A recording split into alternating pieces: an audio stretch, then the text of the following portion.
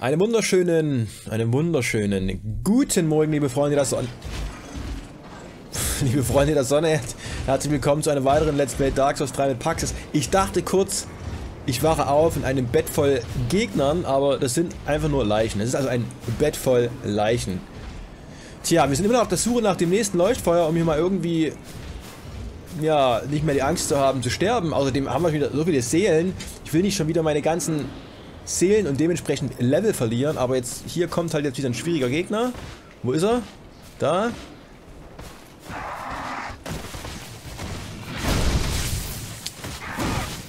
Okay, wir müssen erstmal hier wegrennen, weil wir hier auch noch andere Gegner haben und das ich niemals schaffen werde und sterbe.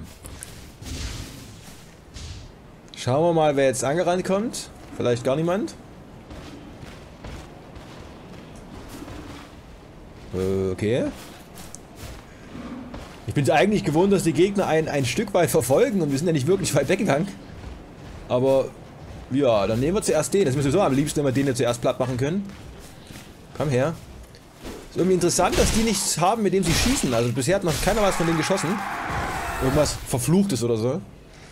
Und jetzt, ach nee, da drüben war noch einer, der, der, ähm, ja genau, der die Blitze geschossen hat. Auch nicht geil. Die Blitze können wir auch nicht 100%... Oh Gott. Können wir auch nicht 100% blocken. Fuck.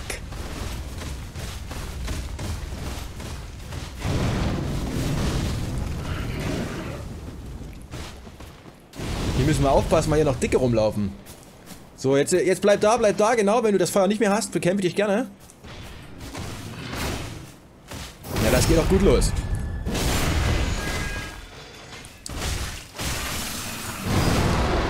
Nein! Ach so, das ist gar nicht das Feuer. Oh, ich dachte, er hat schon wieder das Feuer. Das war's für ihn.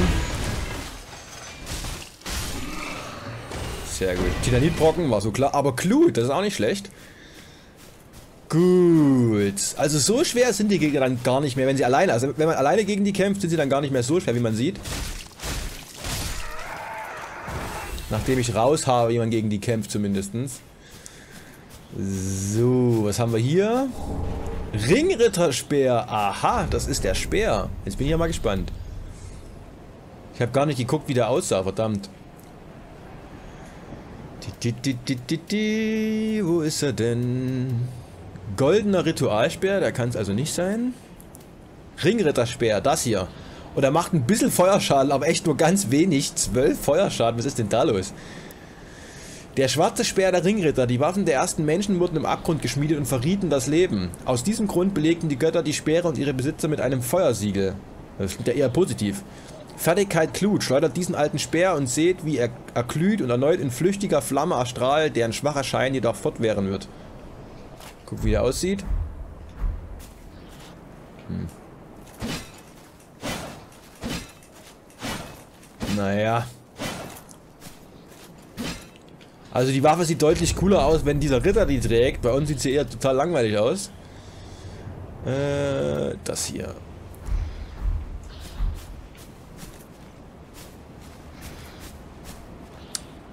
Hier scheint es auch wieder relativ dunkel zu sein. Hä? Als wir in die Stadt rein sind, bei diesen komischen Geister... Oh. Bei diesen komischen Geister... Bogenschützen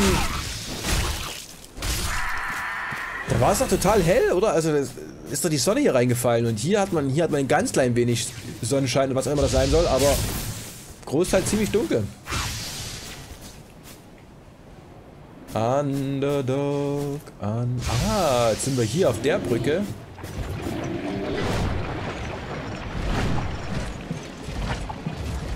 Hat er gerade gekämpft? Was? Die krabbeln da aus dem Schlamm raus? Kann es sein, dass die immer wieder nachkommen und man gar nicht alle umbringen kann? Das könnte sein, oder? Das wäre natürlich total unangenehm. Und da haben wir irgendeinen neuen Gegnertyp, den wir so noch nicht gesehen haben, irgendwelche merkwürdigen Insekten. Ha, das ist natürlich richtig cool. Hm. Na gut, egal. One met the dark with learning, but in the end learned his knowledge was wanting. The world began without knowledge. And without knowledge will it end. Does not this ring clear and true? Fear not the dark, my friend, and let the feast begin. Bin ja mal gespannt, ob wir irgendwann noch gegen den kämpfen müssen. Das können wir ihn wahrscheinlich nicht nochmal ansprechen. Was hat er mit seinem Festmahl? Moment mal, hier ist wohl gar nichts. Was? Das ist wohl nur dafür da, damit man mal den Verrückten nochmal auf den Kopf springen kann, oder wie? Oh. Okay, also hier ist jetzt gar nichts mehr, oder was? Waren wir schon auf der Ebene da oben? Ich glaube, da waren wir noch nicht. Ja, es, es wundert mich ein bisschen, dass es hier jetzt überhaupt gar nicht weitergeht. Weil wir könnten jetzt abkürzen und da runterspringen, aber wir müssen natürlich taktisch vorgehen, wenn wir jetzt diese Dickwänste nochmal bekämpfen müssen. Drei Stück waren es jetzt wieder. Und ich weiß halt nicht, ob die immer wieder kommen, wenn man die besiegt hat. Keine Ahnung. Das könnte aber sein. Das wäre ziemlich krass auf jeden Fall. Weil das halt schon harte Gegner sind. Wenn man gut kämpft, alleine gegen die ist, dann ist es kein Problem. Weil sie doch relativ schwerfällig sind, aber sobald man gegen mehr als einen kämpft, sobald man sich nicht konzentriert und einen Fehler macht, kann es teuer werden, weil die haben halt echt viel Energie.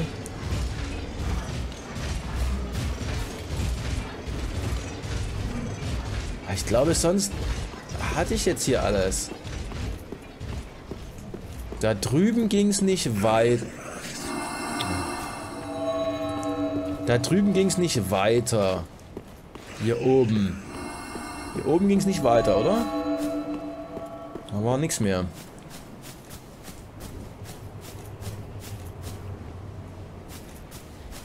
Wie komme ich denn darüber jetzt zum Beispiel?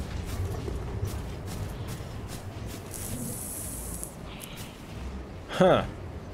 Hier rüberspringen ist definitiv viel zu weit weg.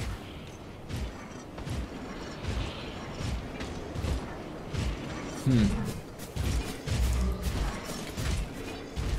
Moment mal, da läuft ja auch immer wieder bis hier hoch. Also meiner Meinung nach ist es schon...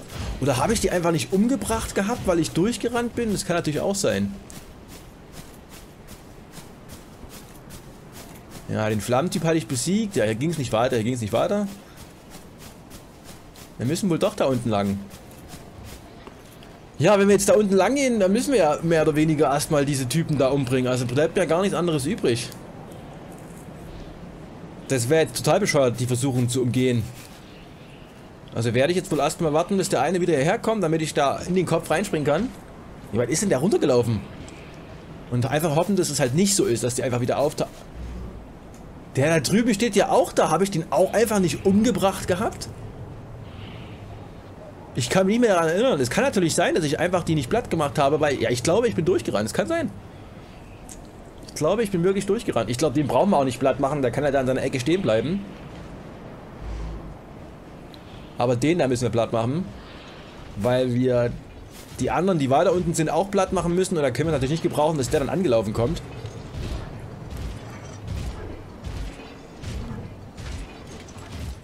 Oh nein! Oh nein! Hauptsache wir haben Haufen Energie verloren. Wie sinnvoll.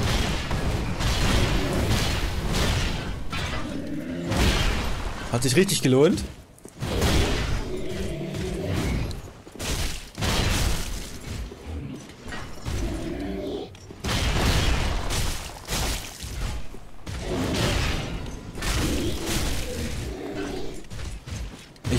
Man bei denen auch diesen Unterkühlungseffekt hinbekommt, wenn man die oft genug trifft. Sieht man irgendwie nicht danach aus.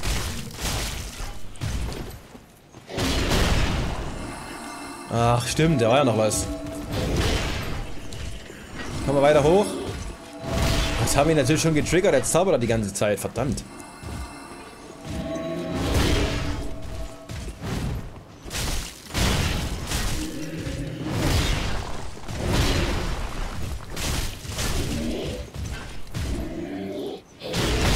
Die sind so langsam. Ah. Nerviger Angriff Nummer 1.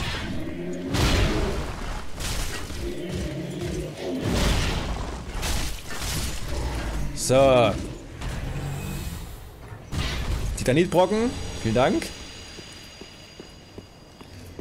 Hm, jetzt können wir natürlich gucken, sind zwei und die stehen jetzt rum. Also irgendwie haben die auch nicht immer das gleiche Schema. Ob sie laufen oder stehen. Weil der eine, der da oben in der Ecke steht, der ist ja auch manchmal rumgelaufen. Ah, okay.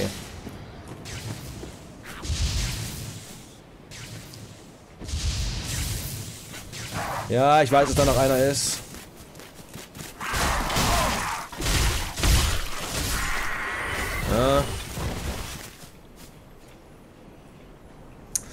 Das ist natürlich nicht so cool. Ich meine, ich trigger jetzt halt beide, wenn ich da hingehe oder auf einen draufspringe. Ich weiß auch gar nicht, wie viel Energie ich da verliere, wenn ich auf einen draufspringe, aber es kann ja eigentlich nicht so schlecht sein, auf einen drauf zu springen, dann hat er zumindest weniger Energie. Und dann kann ich ja immer noch wegrennen. Aber ich glaube, ich mache das lieber mit voller Energie, weil ich nicht weiß, wie viel Fallschaden wir da nehmen oder ob wir überhaupt Fallschaden nehmen, wenn wir dann in diese, ich stecke mal mein Schwert in den nicht vorhandenen Kopf oder in den Hals von jemandem rein. Kann natürlich sein, dass es dann gar keinen Schaden nimmt. Also, dass wir gar, keinen Schaden nehmen. Kann auch sein, dass die so steht, dass ich nicht draufspringen kann, aber ich denke schon.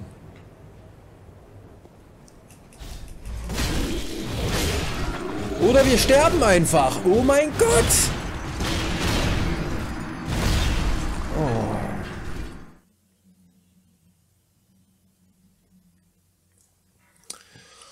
Okay. Wie geil.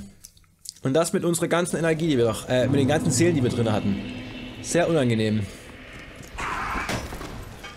Ja, wahrscheinlich war es zu hoch, wenn es, entweder war es zu hoch oder wir standen, oder er stand zu weit weg von dem Ort, wo wir runtergefallen sind, ich weiß es nicht, aber es gab irgendeinen Grund, dass er halt sein Schwert nicht reinstecken wollte in den Gegner. Verdammt.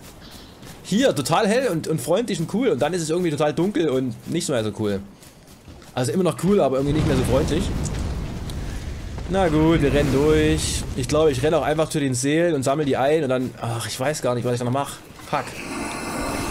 Hallo.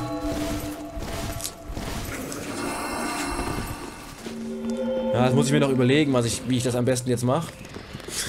Wenn ich dort bin, überlege ich es mir.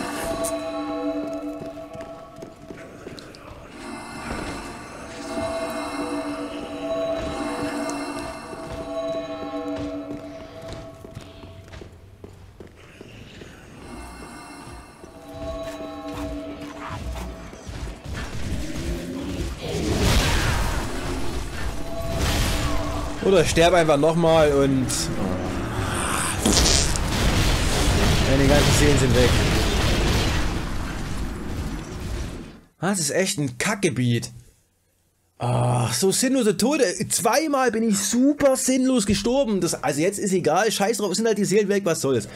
Ähm, das eine Mal dieser Tod, wo ich verflucht wurde, und dann dieser Tod, wo ich da runterspringen wollte, weil es wieder, weiß ich nicht, weil ich gedacht habe, das ist die bessere Möglichkeit, und dann Fallschaden, der eine hackt auf mich ein, tot. Wisst ihr, was ich jetzt mache? Mich nervt das Gebiet jetzt einfach zu sehr. Ich gehe jetzt in das andere Gebiet, was wir noch nicht uns angeschaut haben. Wir kehren logischerweise irgendwann zurück, aber dann halt mit neuem frischen Geist und dann in Ruhe und richtig. Aber jetzt müssen wir erstmal... Ich weiß gar nicht mehr. Wo war denn das? Ach ja, hatte mir auch nicht... Ich glaube, irgendjemand hatte mir noch per Nachricht, per Kommentar geschrieben dass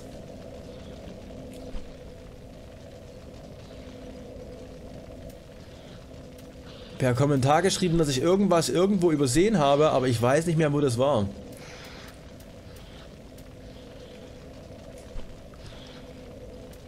Jetzt will ich eigentlich bloß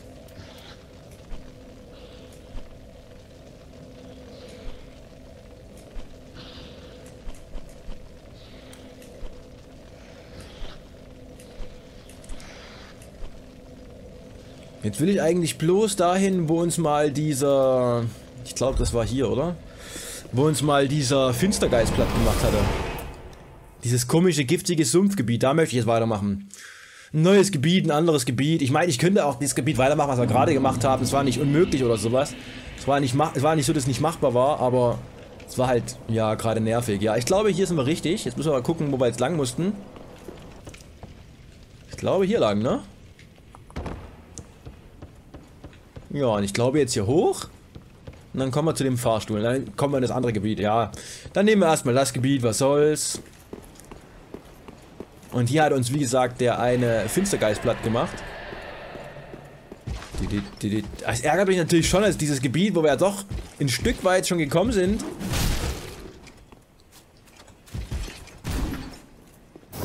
Wo wir doch schon in... Boah, wie viel Schaden wir machen, krass. Wo wir doch schon ein Stück weit gekommen sind.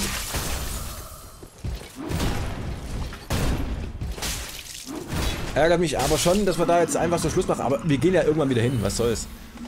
Aber hier gab es auch diese, diesen Hinweis, dass hier irgendwie ein Aschefürst auf einen warten würde. Schauen wir mal.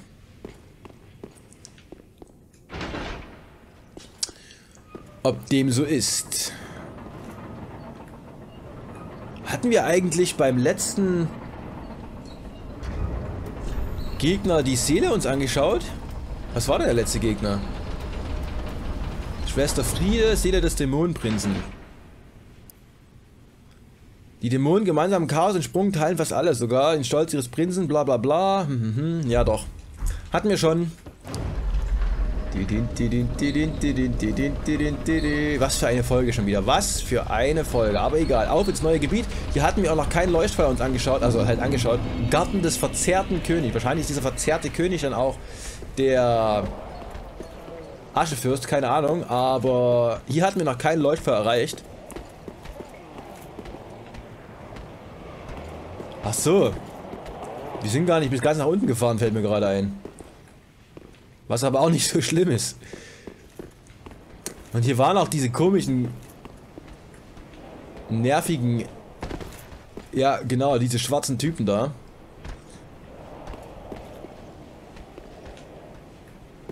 Sag mal, ist es jetzt hier auch dunkler? Kommt mir das so, so vor? Ist das Spiel dunkler geworden, oder?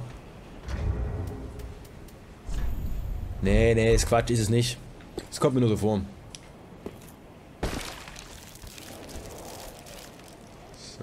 Ich weiß auch noch, dass wir das eine Mal da oben drauf... Oh Gott. Ich vergifte ja hier alles. Also, dass wir da oben drauf standen und wir da oben versucht haben, die anderen kaputt zu schießen, das weiß ich auch noch. Die Gegner sind mittlerweile so einfach, ey. Das ist unfassbar. Und krass, nach zwei Schlägen wirkt schon mein Unterkühlungseffekt. Das ist natürlich cool. Na,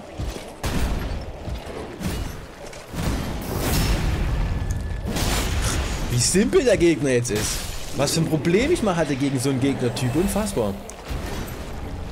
So, aber die mit ihrer Kackreichweite, die nerven halt trotzdem immer noch massiv. Und ich glaube, die kann man auch nicht gut blocken. Ich werde jetzt trotzdem wieder versuchen, die kaputt zu schießen. Mittlerweile müssten wir ja auch deutlich mehr Schaden machen mit unserer Armbrust zum Beispiel. Plus 9, sehr geil.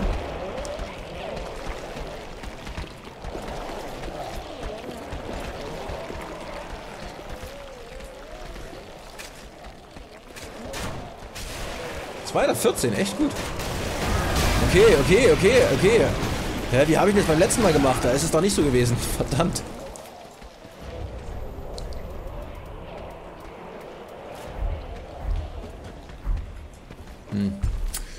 Gut, mit Rollen kommt, es muss ja irgendwie möglich sein, ihn auch bei einem normalen Kampf zu besiegen, oder? Wobei, jetzt haut er wieder ab, verdammt.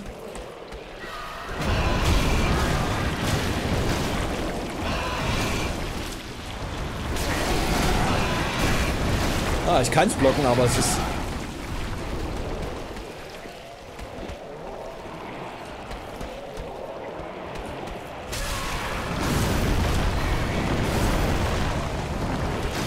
Ich sehe halt einfach nichts, also...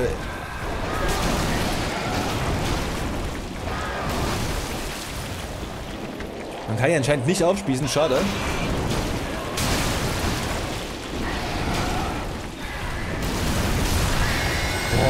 was für eine... Ja, das sind richtig nervige Gegner. Große Titanitscherbe. Also das Gebiet ist auf jeden Fall ein älteres Gebiet. Man sieht auch, dass man hier... Also ist logisch, ne? Dass man hier auch schlechtere Sachen findet, als in dem Gebiet, wo wir gerade waren. Also das hier sollte eigentlich insgesamt leichter sein. Schauen wir mal.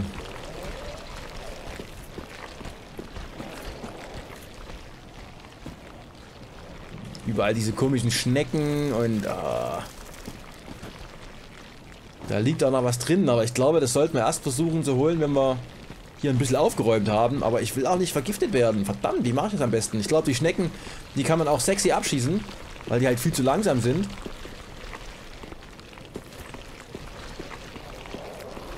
Ich glaube, zwei von diesen sind hier noch am rumlaufen.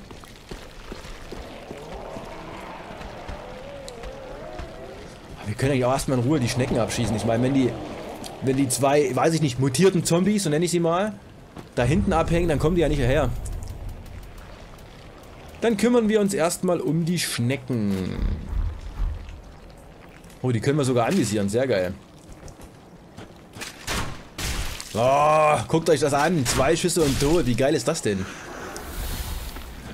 Kein stundenlanges drauf einschießen mehr. Das ist echt verdammt viel Schaden. 301. Da liegt auch mehreres rum, sehe ich gerade. Nicht nur ein was.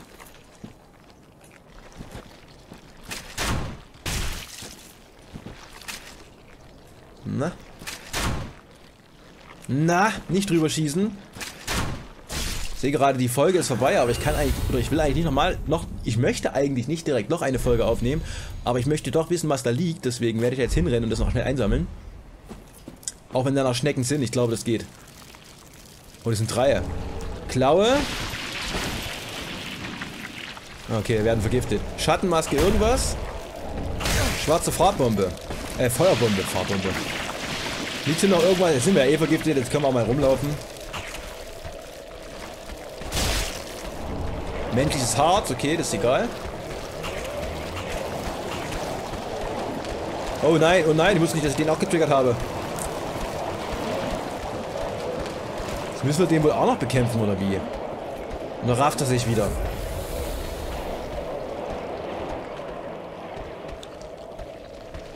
Gut, wir haben irgendwelche Klamotten gefunden und eine Klaue. Daran erinnere ich mich. Klamotten und eine Klaue und den Rest hatten wir eh schon mal.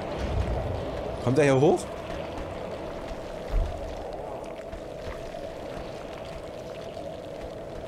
Ne, ich glaube, er geht wieder zurück auf seinen alten Platz. Okay, Klaue hatten wir bestimmt schon mal. Ja, genau, Klaue hatten wir schon mal.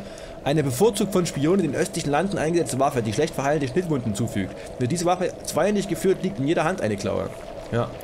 Die hatten wir schon. Ähm, dann hatten wir aber jetzt Klamotten gefunden. Irgendein Set von jemand, der gestorben ist.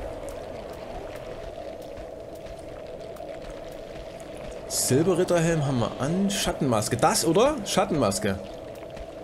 Oder?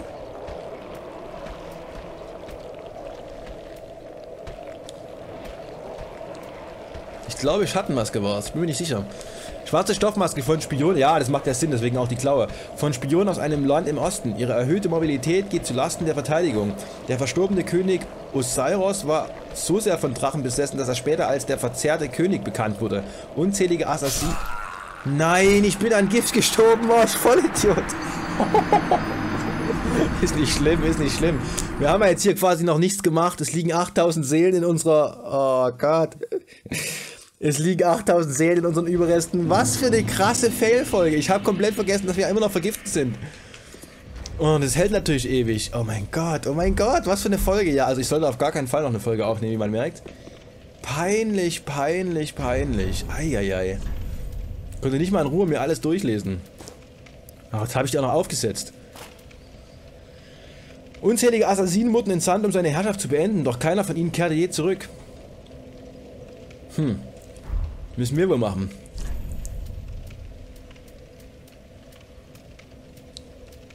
Schattenoberteil, ist das? Ja, ne? Schwarze Stoffkleidung, der verstorbene König, doch keiner kehrte zurück, bla bla bla.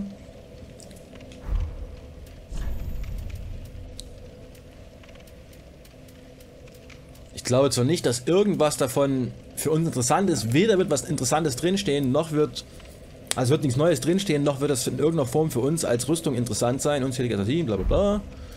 Aber wir müssen es natürlich sicherheitshalber trotzdem angucken. Schattengamaschen. Der verstorbene König. Ja, dann würde ich sagen, beenden wir diese Folge. Schöne Fail-Folge. Hat sich eigentlich fast überhaupt gar nicht gelohnt, aber ich denke, euch wird sie trotzdem gefallen. In diesem Sinne, beim nächsten Mal geht es dann ganz in Ruhe und mit Bedacht und, ne, ihr wisst Bescheid, geht es dann hier an der Stelle weiter und dann werden wir uns diesem Gebiet hier annehmen und schauen, ob wir nach dem Gebiet ja schon zurückkehren müssen zu dem, aus dem wir gerade abgehauen sind oder ob es schneller weitergeht, werden wir dann feststellen. Also dann euer Paxis, Daumen nach oben, aktiviert die Glocke, bleibt cool. Tschüss. tschüss.